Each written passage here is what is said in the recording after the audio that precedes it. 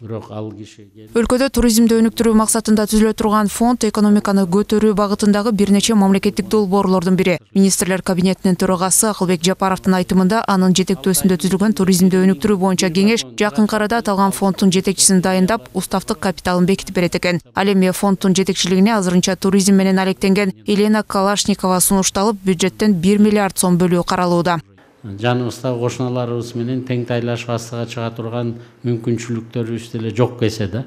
Ошондуктан туризмди астыга жылдырайлы деп атабыз. Жалаң эле мага ушу рест поинттер жөнүндө айтып калышат ошолордун дагы конкурстарын жарыялап бүтүп калдык. Буюрса туристтер келгенде мындай өзүлөрүнө ылайыктуу шарттарды түзүп бере алабыз. Аталган фонд акционердик коом катары уюшулуп туризм тармагында чарбалык иштер менен алектенет тактап айтканда инфраструктураны жакшыртуу багытын көздөйт мына өзүңүздөргө белгилүү болгондой декабрь айында урматтуу президентибиздин жарлыгы да чыкты ушул туризмди колдоо жөнүндө ошонун алкагында мына азыркы күндө акционердик общество ошол фонд түзүлүп атат ошол фонддун балансы ошол фондко миллиард сом бөлүнүп атат. Бул фонддун негизги бирден бир багыты максаты бул инфратүзүмдөрдү жакшыртуу ыңгайлуу шарттарды түзүү ошол эле чарбалык иштерди алып барат.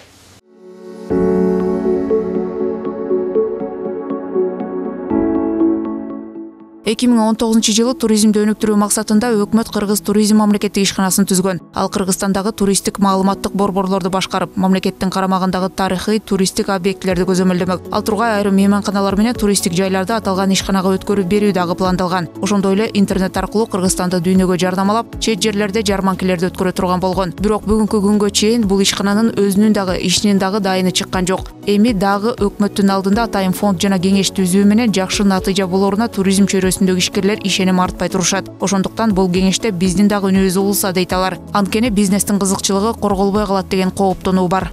Национальный совет ачканда алар болсо э, департаментке окшоп биздин оюбузча анча иштебейт.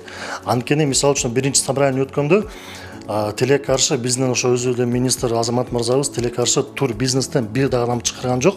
Өзүнүн ичинен эле мамлекеттин ичинен биз болсо национальный совет түзөбүз деп өздөрү чечимге келишти бир нерсе бар канча жылдан бери мына туризм иштеп келип атат өнүкпөгөн себеби биринчиден мамлекет тилекке каршы тур бизнестин интересин бир дагы жолу колдогон эмес. Азыркы учурда национальный совет түзүп туруп бир миллиард сом чыгарабыз деп бул жакшы ниет. Бирок ал бир миллиард сом бул деген кичинекей акча эмес. Каяка колдонулат ички туризм канча болот тышкы туризм канча болот. Кандай кандай жаңы закон түзөт ошонун баарын тур бизнес тилекке каршы биз өзүбүз түшүнбөй атабыз да. Эгерде мүмкүнчүлүк болсо мынтип түз маектешүү болгон боло турган болсо турбизнес менен биз болсо абдан ыраазы болмокпуз мындай тынчсызданууга негиз жок экенин тиешелүү органдар айтууда эгер туризмди өнүктүрүү фонду түзүлө турган болсо кыргыз туризм ишканасы жоюлуп анын айрым функциялары фондко өтүшү мүмкүн экен ал эми бул тармактын саясатын маданият министрлигине караштуу туризм департаменти жүргүзө бермекчи учурда бизнести колдоо багытында бир катар иштер жасалып жатыптыр. Мына өзүңүздөргө белгилүү болгондой кыргызстанда туркомпанияларда лицензия жок чет өлкөлөрүбүздө кошуна өлкөлөрдө лицензия бар.